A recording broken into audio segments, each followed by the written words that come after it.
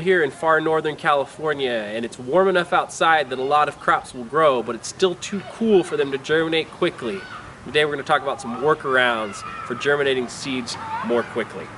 So follow me, let's go look in the workshop. Number one thing you can do to increase germination speed is to control soil temperature. Not air temperature, soil temperature. Seeds germinate, most of them, based on the temperature of the soil that they're in. So for example, we're germinating lettuce seeds right now and I have it set to 68 degrees in my seed bed warmer. And that's because that's about as high as you can go with lettuce without risking killing them in fact, you'll see even a couple have already died from a hot day that we had. So, anyways, I'll include a link to the temperatures and the germination speed at those soil temperatures for common crops.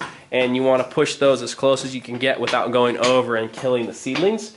So in this case, you can see these seedlings are seven or eight days old. They're already up and rolling.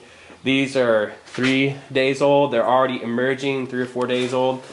Um, so this is how I built it. I got my uh, two by six, or sorry, yeah, two by sixes uh, framed, and um, then I have a liner, and the liner is uh, five mil panda film, just some leftovers that I had. I'll link to that, and then.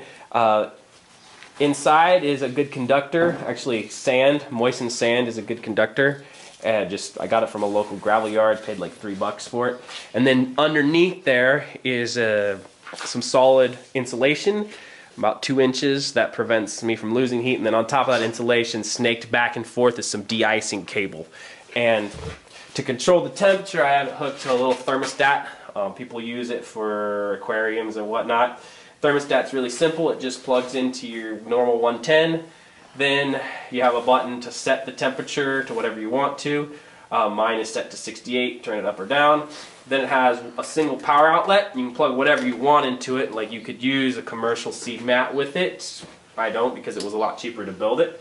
Um, but you plug that in and then when it reaches the temperature, in my case 68 degrees, it cycles off. So right now it's 69 because it's warm outside and so there's no heat being supplied to the roots because um, the probe, here, probe. the probe sticks in there um, and it senses what the soil temperature is and it reads off of that.